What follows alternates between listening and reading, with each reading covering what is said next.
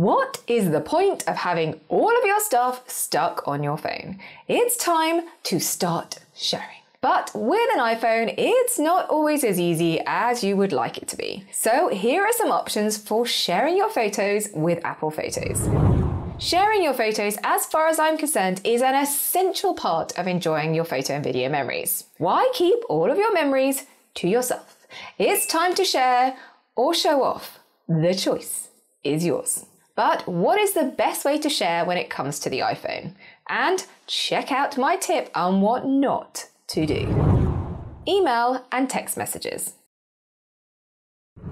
Yes, it's a bit old school, but you can share directly from Apple Photos to an email or a message. To send an email or text message, simply tap Share and select Mail or Mail Messages. For mail, you can add a message to the email, and for messages, you can even add them to an existing message conversation. Then just send it. AirDrop.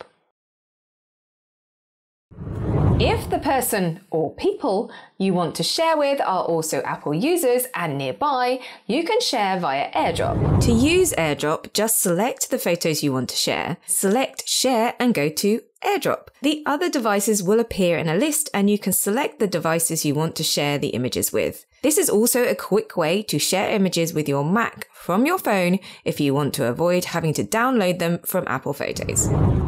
Public links. If you want to share a whole album of photos, you can create a public link for a specific album that everyone can then view. To create a public link, just go to the album you want to share and tap share. Select copy link and then you can paste that link into an email, a message, even a social media post if you want to share that much. This is a good option if you want to share photos with a large audience, but it's not a good option if you have any private photos. Shared albums. So far, the options have been a little bit ad hoc. But what if you want to share over a period of time? Well, for this, you have shared albums. You can create a shared album from your Apple Photos app on both your phone and your Mac. Simply create the albums and invite others you would like to have access to your images.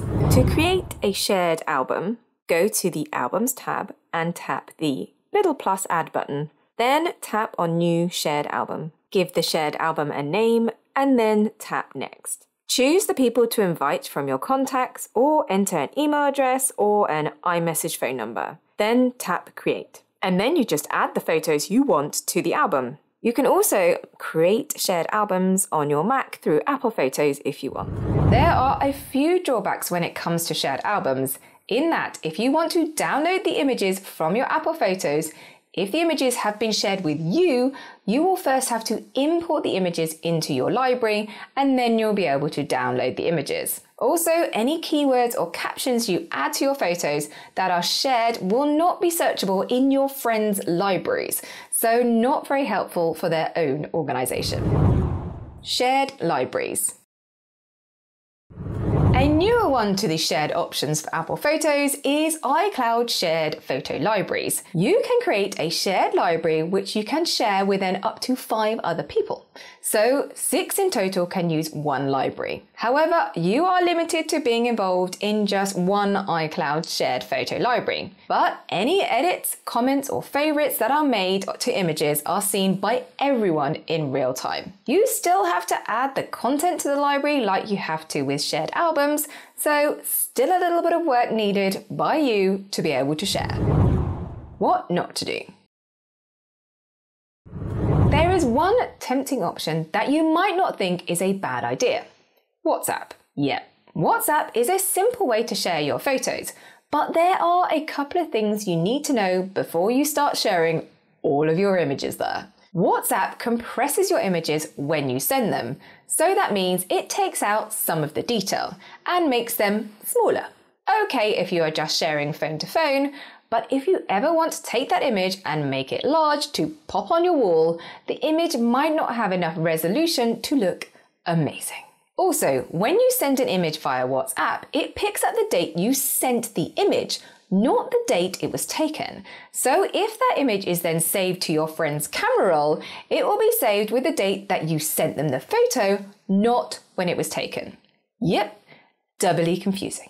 As long as you know these things, then you are good to share away. I'm just saying. So there you have it, your options for sharing your photos from Apple Photos.